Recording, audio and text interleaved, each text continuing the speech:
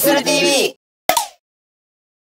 ゼレゼレどうもすするですはい、いつもスル TV を見ていただいている視聴者の方々、本当にありがとうございます。今回はいつもお世話になっている東北沢の行列店、千里眼さんが明日から冷やし中華の提供を開始するんですけども、今年はなんと初めて整理券を導入するということで、なぜ整理券を導入するに至ったかと言いますと、まあ毎年冷やし中華のシーズンはもう千里眼さん大行列になってしまいまして、特に土日とかだと本当に2時間待ちコースは当たり前みたいな時もあるんですよ。僕も去年冷やし中華を食べた時は2時間近く待ちまして、まああの炎天下の中待つのはなかなかしんどいと。というわけで今回は視聴者さんにエキストラをお願いして、どういった流れで整理券を受け取るのか、そしてまあどういった流れでね、ラーメンを食べられるのかっていうところを、千里川さんの協力のもと解説していきたいと思います。新たな試みなんですけど、皆さんがお店に行く際に、どのように整理券を取ったらいいかとかわからないことが多々あると思うので、千里川さんに行く前にね、ぜひこの動画を見て予習していただければなと思います。それでは行っちゃいましょうレッツゴー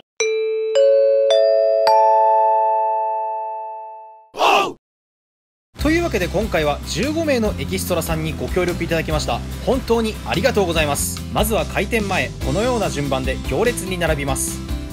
お店から開店の合図があるので先頭の方から順番に食券を購入します。この時自分の食べたいメニューを間違えないように気をつけてください。2番目以降の方も同様に食券を購入しそのまま店内へ入りましょう。店員さんから指示のあったお客様から整理券と食券を購入します。ここからは券売機の指示に従ってまずは整理券を発見します。整理券の時間帯の中ならいつでも食べに来ることができます。次は食券を購入します。整理券と購入した食券はなくさないようにしましょう。前の人の発見が終わったら次の人も続いて発見しましょう。整理券のみを持っていても商品を提供することはできません。必ず整理券と食券を一緒に購入しましょう。ラーメンの整理券で冷やし中華の食券を購入することはできません。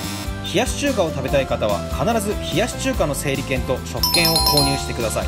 整理券は1人1枚までです。1人で複数枚の整理券食券を購入することはできません。必ず1人1枚ずつ購入してください。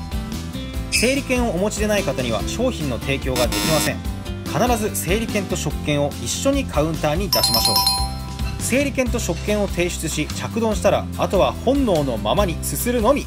というわけですみません今日はありがとうございました。ありがとうございます、はい、とっても美味しかったです。あよかったですよありがとうござ。いますまたぜひ機会ありましたはい。またよろしくお願いします、はい、ありがとうござい。ました千里が千里がめっちゃ良かったです。あよかったです。どうもありがとうございましたありがとうございます。いただいてありがとうございます。またぜひよろしくお願いします、どうもありがとうございました。ありがとうございました。というわけで最後のお客さんです。もうありがとうございました今日はありがとうございました長々とても美味しかったです。本当ですか？豚ホロホロだったんであそうです千里眼の豚結構めっちゃ柔らかいですから。はい、もうぜひまた夏も冷やし中華食べに来てください、はい、今日の動画参考にというか、まあ、整理券とあれを間違えないように、はい、やっていただければと思いますはいどうもありがとうございました。それではみんなで千里眼さんの極太麺をスタート。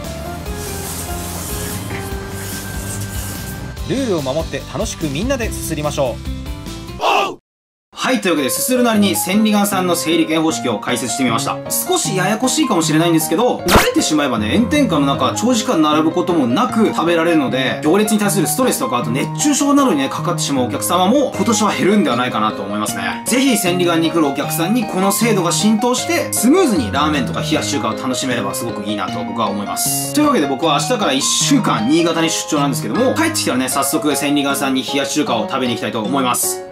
もちろん整理券をゲットしてね。今回来ていただいたエキストラの皆さん並びに協力していただいた千里眼さん本当にありがとうございました。それでは皆さんいい千里眼ライフを。よろしくお願いね。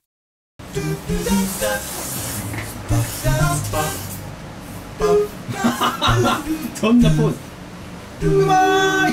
あ、あ